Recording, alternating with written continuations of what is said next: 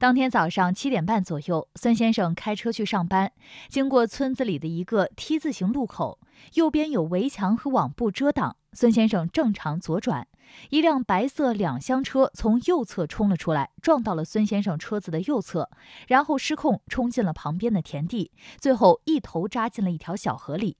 对方车损两万，人没有大碍，孙先生负事故的全责。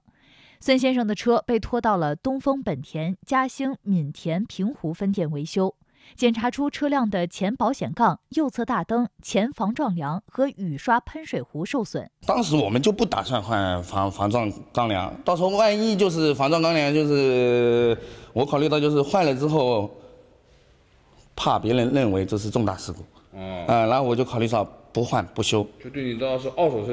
对对对对对对对对对对对对对对对，价值嘛不大的，那因为 4S 店定损出来大概是八百多点。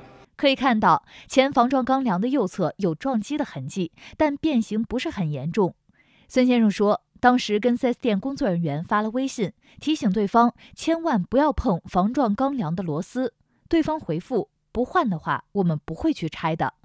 后来在核定定损清单的时候，孙先生发现了问题。他们就是把货都订订回来了，就把这个梁订回来了，梁都订回来了，然后保险公司也理赔了。在我们整个的事故车辆维修维修当中的话，它其实有几个环节。第一个是初步的一个定损，然后呢有在维修过程当中的话有追加定损，包括说呃即使是说这辆车的案子已经结案了，但是在使用过程当中发现的问题是。也是本次事故造成的，那么保险公司也会进行重新开案，去增加理赔，这也是整个维修过程定损的，就是综合的全部环节，而不是说我第一次报了一个东西之后，呃漏报或者说其他情况之后，保险公司就不再理我，不是这样的一个过程。沈经理表示，之前给孙先生核对的只是初步的定损清单，如果孙先生不想更换前防撞梁，是可以更改定损清单的。梁，呃，现在和 4S 店初步沟通下来，呃，就是说把这部分费用退回保险公司，保险公司删除记录。孙先生告诉记者，前防撞梁的事情解决了。但现在右侧大灯又断了一个灯脚，大灯他们拆解，呃，拆完之后就说一个镜面损坏了，要维维修镜面修复。修完回来之后，4S 店告知我说这个角断，有一个有一个有一个角断。一我要找到责任人到底是谁，第二我毕竟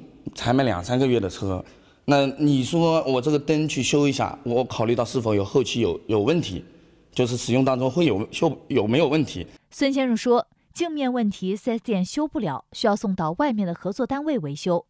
后面 4S 店说有一个灯脚断了，他有两个怀疑：要么是 4S 店的工作人员拆除大灯的时候拆坏了，要么就是合作单位在镜面修复的时候弄坏了。客户一直在说是我们第一时间没有发现，这也确实是我们可能说是。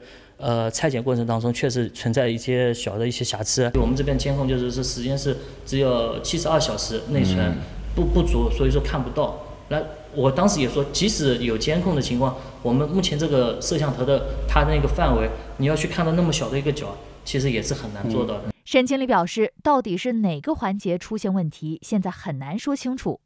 根据经验判断，灯脚应该也是在事故撞击以后发生断裂的。这个受伤的位置刚好也是在这个内杠的上方，刚好是在这个角落。他们经过鉴定以后认可了这个损失，所以说呢也同意更换大灯。如果我换，那我换了大灯，这也要将近四千多块钱了。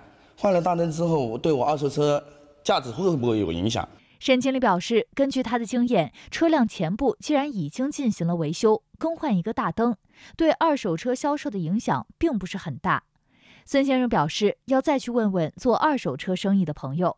后来，孙先生联系了记者，说已经了解清楚了。他说，反正你前保都已经换掉了。他说，灯的话，你换影响肯定有，就是说不是特别大，几百块钱嘛。